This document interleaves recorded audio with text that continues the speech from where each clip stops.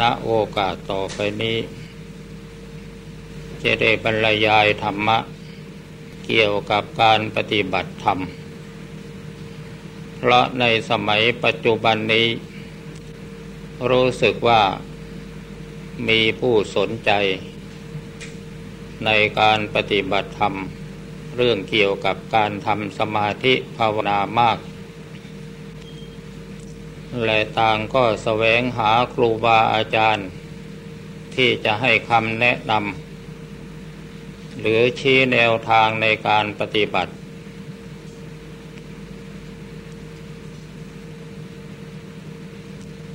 บางครั้ง ในการแสวงหาครูบาอาจารย์ผู้ให้ แนวแนะแนวทางปฏิบัตินั้น บางทีก็อาจ ผิดพลาด ซึ่งไม่ตรงกับหลักแห่งความเป็นจริง ตามแนวทางแห่งพระพุทธศาสนา แต่ก่อนอื่น ขอทำความเข้าใจกับบรรดาท่านผู้ฟังทั้งหลายว่า สมาธิคำว่าสมาธิคือความสงบจิตนั้น เป็นความจริงอย่างหนึ่ง ซึ่งเมื่อมีการปฏิบัติแล้วผลเกิดขึ้น มีลักษณะคล้ายคลึงกัน และเหมือนกันหมดไม่มีแตกต่าง จะเป็นลัทธิศาสนาใดก็ตาม หรือลัทธิพิธีการใด ๆก็ตาม เมื่อมีการปฏิบัติเกี่ยวเนื่องกับการทำสมาธิ เมื่อทำให้จิตสงบลงไปจริง ๆแล้ว เหมือนกันหมด จะเป็นศาสนาคริสต์ศาสนาพราหมณ์ หรือศาสนาพุทธก็ตาม หรือแม้ลัทธิอื่น ๆที่มีการทำสมาธิ เมื่อทำจิตให้สงบเป็นสมาธิลงไปได้ มีลักษณะอย่างเดียวกันหมด ถ้าสมาธิแตกต่างกัน สมาธิก็ไม่ใช่สัจธรรม ที่เรารู้สึกว่า สมาธิมีความแตกต่างกันนั้น เพราะเราไปยึดวิธีการมากเกินไป ดังนั้นสมาธิจึงเป็นกิริยาของจิต หรือจะว่าตามภาษาของชาวบ้านว่าเป็นกิริยาของใจ การทำสมาธิใครจะทำในท่ายืนก็ได้ นั่งก็ได้ นอนก็ได้ หรือในบางลัทธิเขาสามารถที่จะเอาศีรษะปักลงกับพื้น แล้วก็ชี้ฝาคืออาขาขึ้นฟ้า ทำสมาธิอยู่ได้เป็นชั่วโมงชั่วโมง เช่นพวกลัทธิชีเปลือยที่เขายังมีการปฏิบัติกันอยู่ในประเทศอินเดียในปัจจุบันนี้ เพราะฉะนั้นสมาธิตั้งแต่ระดับฌานขั้นที่หนึ่งถึงขั้นที่สี่คือปฐมฌานทุติยฌานจตุตติยฌานจตุทฌาน เป็นสมาธิสาธารณะทั่วไปทุกละทิที่มีการปฏิบัติสมาธิ สมาธิตั้งแต่ฌานที่หนึ่งถึงฌานขั้นที่สี่เป็นสมาธิขั้นปฐมในเมื่อผู้ที่ทำสมาธิถึงฌานขั้นที่สี่แล้ว มีทางแยกไปตามลัทธิและความเข้าใจของแต่ละศาสดา ศาสดาในศาสนาพราหมณ์ เมื่อเขาทำจิตถึงฌานขั้นที่สี่แล้วเขาก็ดำเนินจิตไปสู่ อากาสานัญจายตนะ วิญญาณัญจายตนะ อากินจัญญายตนะ เดวสัญญานาสัญญายตนะ ไปสมาบัติแปดทีนี้ผู้ทำสมาธิสำเร็จสมาบัติแปด ในเมื่อตายไปแล้วไปเกิดในปรมโลก แต่ในลัทธิศาสนาพราหมณ์เขาถือว่านิพพานของเขาเหมือนกัน เพราะเขาไปกำหนดเอากันตรงที่ว่าในเมื่อจิตไปอยู่ในสมาบัติชั้นที่แปดคือเนวสัญญานาสัญญาเจตนะในเมื่อมองดูจิตภายในแล้ว จะรู้สึกว่ามีสัญญาก็ไม่ใช่ จะว่าไม่มีก็ไม่ใช่ มันเป็นของละเอียดจริงละเอียดจริง ๆ ผู้ที่มีปัญญายังไม่ละเอียดเพียงพอ จึงเข้าใจว่าสมาบัติขั้นนี้เป็นพระนิพพานตามความเข้าใจของเขา แต่สมเด็จพระสัมมาสัมพุทธเจ้าของเรานี่ ในตอนที่พระองค์ทรงบำเพ็ญเพื่อสำเร็จเป็นพระสัมมาสัมพุทธเจ้า ก็ได้เคยศึกษาในลัทธิของศาสนาพราหมณ์มาก่อน จนสามารถทำจิตของพระองค์ให้บรรลุถึงสมาบัติขั้นสูงสุด คือเนวสัญญานาสัญญายตนะ ในตอนแรกๆ พระองค์ก็คิดว่าพระองค์สำเร็จแล้วเหมือนกัน แต่เมื่อออกจากฌานสมาบัติขั้นนั้นมามาสู่ภาวะความเป็นอยู่อย่างปัจจุบันนี่ อย่างเหมือนเหมือนที่เรากำนั่งฟังเทศกันอยู่นี่ในเมื่อตาเห็นรูปหูฟังเสียง จมูกได้กลิ่นเล่นได้รสกายสัมผัส ก็ยังรู้สึกว่ามีความยินดียินร้ายพอใจและไม่พอใจ พระองค์จึงเห็นว่า ถ้าหากสมาบัติขั้นสูงสุดของพราหมณ์ เป็นขั้นสำเร็จพระนิพพาน เมื่อออกจากสมาบัติมาแล้ว ความยินดียินร้ายซึ่งเป็นอาการของกิเลสย่อมไม่มี เมื่ออยู่ในสมาบัตินั้นเป็นอย่างไรออกจากสมาบัติมาแล้วกิเลสก็ย่อมไม่มี แต่นี่เมื่อเราออกจากสมาบัติมาแล้วมันยังมีความยินดียินร้ายอยู่ พระองค์จึงสันนิษฐานว่ายังไม่สำเร็จ จึงได้หันมาพิจารณา สภาวะธรรม หมายถึงกายกับใจของพระองค์เอง และพิจารณาความไม่เที่ยง ความเป็นทุกข์ ความไม่เจตัวไม่เจตนของสภาวะธรรมทั้งปวง จนพระองค์สามารถรู้ข้อเท็จจริงว่าทุกสิ่งอย่างเป็นไปตามกฎธรรมชาติ กฎธรรมชาติที่จะพึงเป็นไปของสภาวะธรรมนั้น ก็คือความปรากฏการขึ้นในเบื้องต้นทรงตัวอยู่ชั่วขนาดหนึ่งในที่สุดต้องสลายตัว ในเมื่อสิ่งนั้นมีอันเป็นไปอยู่อย่างนั้น ใครจะพอใจก็ตามไม่พอใจก็ตาม จะห้ามก็ตามไม่ห้ามก็ตาม กฎธรรมชาติอันนี้ย่อมเป็นไปตามกฎของความเป็นจริง ใครจะคัดค้านไม่ได้ ทีนี้กฎธรรมชาติที่เขาเป็นไปตามกฎความจริงของเขานั้น แล้วมันมาทำให้คนเราต้องเป็นทุกข์ได้อย่างไร ที่มาทำให้คนเราต้องเป็นทุกข์ได้ก็เพราะเหตุว่า เราไปฝืนกฎธรรมชาติ เพราะเรายังไม่รู้แจ้งเห็นจริง จึงไปนึกปรารถนาสิ่งที่มันเป็นไปไม่ได้ตามความต้องการ เช่นความแก่ใครก็ไม่ชอบ ความเจ็บใครก็ไม่ชอบ ความตายใครก็ไม่ชอบ ความวิบัติต่างๆ นานาใครๆก็ไม่ชอบ แต่เสร็จแล้วเขาก็เป็นไปตามกฎธรรมชาติของเขา ในเมื่อเรายังมีความยึดมั่นถือมั่นด้วยอำนาจกิเลสด้วยอุปาทาน เราจะไปหักห้ามสิ่งเหล่านั้นไม่ให้เป็นไปตามกฎธรรมชาติของเขานั้นย่อมเป็นไปไม่ได้ ถ้าหากเราไปฝืนเมื่อไหร่ ความทุกข์ย่อมเกิดขึ้นเมื่อนั้น เช่นความแก่เกิดขึ้นมาเราไม่อยากแก่เราก็ทุกข์ ความเจ็บมาถึงเราไม่อยากเจ็บเราก็ทุกข์ หรือเจ็บแล้วอยากหายหายไม่ทันใจเราก็ทุกข์ ยิ่งความตายเข้ามาถึงแล้วเราก็ยิ่งทุกข์กันใหญ่ เพราะเรากลัวตาย ที่เป็นเช่นนั้นก็เพราะเหตุว่าเราฝืนกฎของธรรมชาติ ทีนี้พระองค์มาพิจารณารู้ซึ้งเห็นจริงในกฎของธรรมชาติจิตของพระองค์ยอมรับสภาพความเป็นจริงของกฎธรรมชาตินั้น ๆ อย่างซึ้งถึงจิตถึงใจ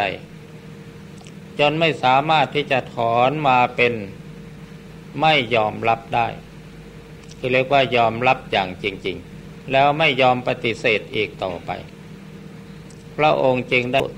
ถึงซึ่งความเป็นพระสัมมาสัมพุทธเจ้า เพราะความรู้จริงตามกฎของธรรมชาติ อันนี้เป็นเรื่องความเป็นมาของสมเด็จพระสัมมาสัมพุทธเจ้า เพราะฉะนั้นในฐานะที่ท่านทั้งหลาย ก็เป็นผู้สนใจ ในการที่จะปฏิบัติธรรม พิจารณาธรรม ให้รู้แจ้งเห็นจริงตามกฎของธรรมชาติ อาตมะจึงจะนำหลักการ ในเบื้องต้นมาเสนอแนะพอเป็นแนวทางพิจารณาไอ้ตามหลักอารักขกรรมฐานสี่ คือมีพุทธานุสติการระลึกถึงคุณของพระพุทธเจ้า แล้วก็มีการเจริญเมตตา มีอสุภกรรมฐานการพิจารณากายให้เห็นเป็นของปฏิกูลน่าเกลียดโสโครกมรณสติระลึกถึงความตาย คือพิจารณาความตายของคนอื่นสัตว์อื่นและของตนเอง อันนี้เป็นอารักขกรรมฐาน เป็นกรรมฐานที่พุทธศาสนิกชน ผู้ซึ่งตั้งใจปฏิบัติธรรม เพื่อรู้แจ้งเห็นจริงในธรรม ควรจะยึดถือหลักควรจะยึดถือเป็นหลักแห่งการปฏิบัติพุทธานุสติการระลึกถึงคุณของพระพระพุทธเจ้าประการต้นนั้นทำไมเราจึงระลึกถึงคุณของพระพุทธเจ้า คำตอบก็คือว่าพระพุทธเจ้าเป็นพระบรมศาสดาของเรา นอกจากจะเป็นพระบรมศาสดาของเราแล้ว พระองค์ยังเป็นบุคคลตัวอย่าง เป็นบุคคลต่างแห่งความเป็นผู้เสียสละ พระพุทธเจ้าเสียสละอะไรบ้าง อาตมะจะไม่นำมากล่าว และพระองค์เป็นบุค คนผู้เป็นตัวอย่าง แห่งการละความชั่วประพฤติความดี และทำจิตใจให้บริสุทธิ์สะอาด ซึ่งสรุปรวมลงในพระคุณอันใหญ่สามประการ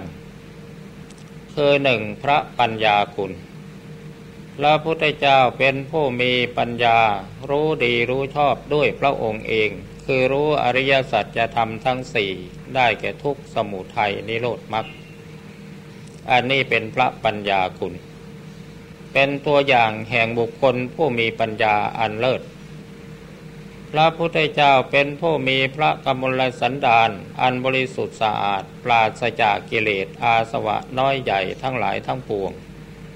กิเลสแม้เท่าทุลีไม่มีเหลือติดอยู่ในพระทัยของพระองค์แล้ว พระองค์จึงเป็นผู้ถึงซึ่งความบริสุทธิ์สะอาดโดยสิ้นเชิง อันนี้พระองค์เป็นตัวอย่างแห่งบุคคลผู้มีความบริสุทธิ์ พระองค์เป็นผู้มีพระทัยประกอบด้วยพระมหากรุณาที่คุณอันยิ่งใหญ่ สู้สละความทุกข์ยากลำบากเหน็ดเหนื่อยส่วนพระองค์แสดงพระธรรมเทศนาโปรดเวนยสัตว์ ให้รู้จักบาปบุญคุณโทษประโยชน์และไม่ใช่ประโยชน์ จนกระทั่งให้บรรลุมรรคผลนิพพาน อันนี้เป็นตัวอย่างแห่งบุคคลผู้ทรงไว้ซึ่งพระมหากรุณาธิคุณ โดยเฉพาะอย่างยิ่งพระมหากรุณาธิคุณนั้น แม้ว่าพระองค์จะทรงทราบว่าเวนยสัตว์ผู้ควรรับพระธรรมเทศนาจะอยู่ใกล้กระปันใดก็ตาม ก็ทรงอุตส่าห์เสด็จไปเทศนาโปรดให้เขาตั้งอยู่ในมรรคผลนิพพาน อันนี้ก็เป็นตัวอย่างแห่งบุคคลผู้ มีพระมหากรุณาที่คุณอันยิ่งใหญ่ ที่นี้เราจะมาลำเลิกถึงพระคุณของพระองค์ เพื่อจะน้อมเอาพระคุณนั้น ๆ เข้ามาอยู่ในจิตในใจของเรา เราจะทำอย่างไร บัดนี้มาถึงวิธีการที่จะปฏิบัติกันแล้ว พระโบราณอาจารย์ท่านกล่าวว่า ผู้ที่จะมาปฏิบัติธรรม เพื่อให้บรรลุถึงความเป็นพุทธะในจิตในใจของตนเองนั้น เริ่มต้นด้วยวิธีการ คือการไหว้พระสวดมนต์แล้วก็เจริญเมตตา ซึ่งการไหว้พระสวดมนต์นั้นท่านทั้งหลายก็ย่อมเคยปฏิบัติกันอยู่แล้ว และการเจริญพรหมวิหารนั้นก็เข้าใจว่าคงกระทำเป็นจิตวัตรประจำวัน ทีนี้ตามแบบฉบับ ในเมื่อเราทำกิจในเบื้องต้นเสร็จแล้ว มานั่งขัดสมาธิเอาขาขวาวางทับขาซ้าย มือขวาวางทับมือซ้ายลงบนตัก ตั้งกายให้ตรงดำลงสติให้มั่น กำหนดรู้ลงที่จิตของเรา นึกในใจว่าพระพุทธเจ้าก็อยู่ในจิต พระธรรมก็อยู่ในจิต พระอริยสงฆ์ก็อยู่ในจิต แล้วก็นึกในใจว่าพุทโธธรรมโมสังโฆพุทโธธรรมโมสังโฆพุทโธธรรมโมสังโฆ สามครั้งแล้วก็มากำหนดนึกสำรวมเอาคำดือพุทโธพุทโธพุทโธพุทโธไว้ที่ใจ หรือบางท่านอาจจะนึกพุทพร้อมกับลมเข้า โธพร้อมกับลมออกก็ได้ แล้วแต่สะดวกทีนี้ถ้าหากว่าการนึกพุทพร้อมลมเข้าโทพร้อมลมออกนั้น จังหวะแห่งการหายใจอาจจะห่างไป จิตยังมีช่องว่างที่จะส่งกระแสออกไปในทางอื่น ก็ให้ปล่อยลมหายใจเสีย แล้วให้นึกพุทโธเร็วๆเข้า พุทโธพุทโธพุทโธเร็วๆ จนไม่มีช่องว่าง การนึกพุทโธในขณะที่เรานึกอยู่นั้น อย่าไปบังคับจิต เพียงแต่ให้รู้สึกว่าจิตของเราสัมผัสกับพุทโธไม่ขาดระยะ นึกอยู่อย่างนั้นแหละ และก็ไม่ต้องไปนึกว่าเมื่อไรจิตจะสงบ เมื่อไรจิตจะสว่าง เมื่อไรจะรู้ เมื่อไรจะเห็น ไม่ต้องนึกทั้งนั้น รู้หรือไม่รู้เห็นหรือไม่เห็นสงบหรือไม่สงบเป็นเรื่องของจิตที่จะเป็นไปเอง ในเมื่อมีการนึกพุโทโธพุโทโธพุโทโธพุโทโธไม่ขาดนึกอยู่อย่างนั้น ในเมื่อถึงการถึงเวลาพอสมควรแล้วจิตจะสงบลงไปเอง ในตอนแรกๆนี้ถ้าหากว่ามีอาการเคลิ้มเคลิมเหมือนกับจะง่วงนอน นั่นสอแสดงว่าจิตกำลังเริ่มจะสงบลงไปแล้ว ให้เร่งบริกรรมภาวนาเข้า ภาวนาเบาๆ ให้นึกพุโทโธพุโทโธพุโทโธเบาๆ อย่าให้มีอาการกดและข่มความรู้สึก หรือประสาทในร่างกายส่วนใดส่วนหนึ่ง พยายามทำให้สบายที่สุดทั้งกายและใจนึกอยู่อย่างนั้นจนกว่าจะถึงว่าเวลาอันสมควร ทีนี้ถ้าจิตมีอาการเคลิ้มเคลิมลงไปคำนึกว่าพุโทโธพุโทโธซึ่งเรียกว่าบริกรรมภาวนานั้น เมื่อจิตมีอาการเคลิ้มลงไปเกิดสว่างขึ้นมาเพียงเล็กน้อย แล้วรู้สึกว่าคำว่าพุทโธจะหายไป ในเมื่อพุทโธหายไป เช่นนั้นแล้วให้ผู้ปฏิบัติกำหนดรู้อยู่ที่จิตอย่างเดียว หรือมิฉะนั้นก็น้อมจิตไปสู่ลมหายใจเข้า หายใจออกกำหนดรู้ที่ลมหายใจเข้าหายใจออกแทนคำว่าพุทโธกำหนดรู้อยู่ที่ลมหายใจอย่างนั้น ในขณะที่จิตกับบริกรรมภาวนาก็ดี หรือจิตกับลมหายใจเข้าออกมีความสัมผัสกันโดยไม่ขาดระยะก็ดี บางทีอาจจะมีอาการ ตัวสั่นนิดๆก็อย่าไปสนใจ บางทีมีอาการกายเบา เหมือนจะลอยขึ้น ก็อย่าไปสนใจ บางทีมีอาการคล้ายๆกับตัวสูงใหญ่ขึ้นหรือเล็กลง หรือมีอาการใด ๆ ที่ปรากฏในขณะนั้นก็ตาม ให้ท่านผู้ปฏิบัติกำหนดรู้ลงที่จิตกับลมหายใจเท่านั้น อย่าไปเอะใจในเหตุการณ์ที่เกิดขึ้น แล้วก็กำหนดรู้อยู่อย่างนั้น จนกว่าจิตจะค่อยสงบละเอียดลงไปทีละน้อยละน้อย แล้วลมหายใจจะค่อยจางหายไป ในที่สุดลมหายใจจะหายขาดไป เมื่อลมหายใจหายขาดไปแล้ว กายที่ปรากฏอยู่ก็หายไปด้วย ในเมื่อกายหายไปแล้วจิตจะสงบนิ่งเด่น มีความสวัยรู้อยู่ที่จิตอย่างเดียว ร่างกายไม่ปรากฏแล้วในตอนนี้ ลมหายใจก็หายไปหมดแล้ว ยังเหลือแต่จิตดวงเดียวล้วนๆสว่างสวัยอยู่อย่างนั้น อันนี้เรียกว่าจิตถึงอัปปนาสมาธิจิตถึงอัปปนาสมาธิในขั้นนี้ ท่านเรียกว่าปฐมมจิตปฐมวิญญาณ มโนธาตุ เป็นแต่เพียงจิตสงบเข้าไปสู่สภาวะความเป็นเดิมของจิตที่ยังไม่ที่ยังไม่ส่งกระแสออกมารับรู้อารมณ์ภายนอก แม้ว่าจิตในขั้นนี้จะยังใช้การอะไรไม่ได้ก็ตาม ให้ผู้ปฏิบัติพยายามเพียรพยายามทำให้ได้อย่างนี้บ่อยๆเข้า แล้วจิตจะค่อยเพิ่มพลังขึ้นมาเอง การทำสมาธิก็จะมีความคล่องแคล่วชำนิชำนาญ ในตอนนี้ถ้าหากท่านจะมีข้อสงสัยว่า เมื่อจิตสงบนิ่งลงเป็นอัปปนาสมาธิตนตัวไม่ปรากฏ ลมหายใจไม่ปรากฏ จิตก็จะไปติดอยู่ในสมถะไม่เกิดความรู้อันใดขึ้นมา บางท่านอาจจะสงสัยอย่างนี้ ความจริงนั้นเมื่อจิตอยู่ในอัปปนาสมาธิในขั้นนี้ จิตย่อมไม่มีสิ่งรู้ ไม่มีสิ่งเห็น มีแต่จิตดวงเดียวล้วนๆที่ใสสะอาดบริสุทธิ์อยู่เท่านั้น อันนี้จิตอยู่ในขั้นสมถะย่อมไม่มีภูมิความรู้เกิดขึ้น ถ้าหากสมมติว่าผู้ปฏิบัติแล้วจิตเป็นอย่างนี้บ่อยๆ แล้วจะเกิดปัญญาความมาได้อย่างไร อันนี้เป็นปัญหาที่นักปฏิบัติจะต้องทำความเข้าใจ แต่อาตมาขอให้ข้อสังเกตว่า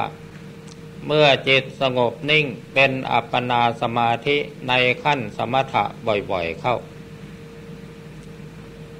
ก็จะกลายเป็นพื้นฐานการสร้างความมั่นคงของจิต ในเมื่อจิตมีสมาธิอันมั่นคง สติก็ย่อมมีความมั่นคงขึ้นเป็นเงาตามตัว ทีนี้เมื่อจิตถอนออกมาจากความสงบนิ่งอย่างนี้ เมื่อเกิดความคิดขึ้นมาเท่านั้น ถ้าจิตมีสติมีสมาธิมีพลังเพียงพอจิตก็จะตามรู้ความคิดนั้นไป ความคิดเกิดขึ้นมาอย่างไรจิตก็จะรู้ รู้รู้ตามรู้ไปเรื่อยนี่ปัญญามันจะเกิดขึ้นที่ตรงนี้ ถ้าหากว่าผู้ปฏิบัตินั้น เมื่อจิตถอนออกมาออกมาจากอัปปนาสมาธิแล้ว ก็เลิกจากการกำหนดจิตเลยทีเดียว ถ้าปล่อยทำอย่างนี้เรื่อยๆ ปัญญามันก็ไม่เกิด เพื่อจะให้ปัญญาเกิดเมื่อจิตถอนออกมาจากอัปปนาสมาธิ พอมาเกิดความคิดขึ้นมาเท่านั้น ให้กำหนดตามรู้ความคิดนั้นไป อย่าอย่าไปปล่อย อย่าไปละโอกาส แม้ว่าจิตจะถอนออกมา โดยไม่มีพลังแห่งสมาธิเหลืออยู่ก็ตาม ให้กำหนดตามความคิดนั้นไปเรื่อยๆจิตคิดอะไรขึ้นมาก็รู้ คิดอะไรขึ้นมาก็รู้ เพียงแต่รู้เฉยๆ อย่าไปช่วยวิพากวิจารณ์ใด ๆ ทั้งสิ้น แล้วเมื่อปฏิบัติอย่างนี้ปัญญาของผู้ปฏิบัติจะค่อยเกิดขึ้นมาเอง เพราะสิ่งที่เรียกว่าปัญญานั้น ก็หมายถึงความคิดที่เราเคยคิดแล้วมันทำความวุ่นวายให้เราเมื่อก่อนนั่นเอง แต่เมื่อเราผ่านการทำสมาธิบ่อยๆเข้า จนจิตมีพลังสมาธิมีพลังแห่งสติมั่นคง ความคิดที่วุ่นวายทั้งหลายเมื่อก่อนนั้นจะกลายเป็นเครื่องรู้ของจิต จะเป็นเครื่องระลึกของสติ เป็นฐานที่ตั้งของจิต เป็นฐานที่ตั้งของสติ เมื่อผู้ปฏิบัติตั้งใจกำหนดตามรู้ความคิดของตนเองที่เกิดขึ้นนั้น โดยไม่ปล่อย โอกาสให้ผ่านไปเฉยๆ ในเมื่อจิตมีเครื่องรู้สติมีเครื่องระลึก จะทำให้สติตัวนี้มีพลังแก่กล้าขึ้นเป็นมหาสติ ในเมื่อสติตัวนี้มีพลังแก่กล้าขึ้นเป็นมหาสติ สติตัวนี้จะกลายเป็นสตินสีเรียกว่าสติเป็นอินทรีย์เป็นใหญ่ในธรรมทั้งปวง เมื่อมีความคิดอันใดเกิดขึ้น เพราะอาศัยสติเป็นใหญ่นั่นเอง สติจะคอยจ้องมอง ตามระยะแห่งความคิดไปเรื่อย ทีนี้ความคิดที่เกิดขึ้น และสติเป็นผู้คอยควบคุมอยู่นั้น ในเมื่อจิตคิดอะไรขึ้นมา จะมีอาการสักแต่ว่าคิด คิดแล้วก็ปล่อยวางไป ไม่ยึดถือในสิ่งใด ๆ ทั้งสิ้น และในโอกาสต่อไปนอกจากเวลาที่เราตั้งใจปฏิบัติด้วยการนั่งสมาธิหลับหูหลับตา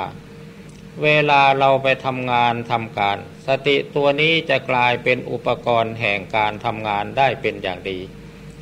เพราะวนานั้นจะถือว่างานในหน้าที่ของเรานั้นเป็นเครื่องรู้ของจิต เป็นเครื่องระลึกของสติ ต่อไปแม้ว่าการยืนเดินนั่งนอนกินดื่มทำพูดคิด เราทำสติตามรู้อยู่ตลอดเวลา ในเมื่อเป็นเช่นนั้น การปฏิบัติธรรม การปฏิบัติสมาธิของเราก็มีได้ตลอดเวลา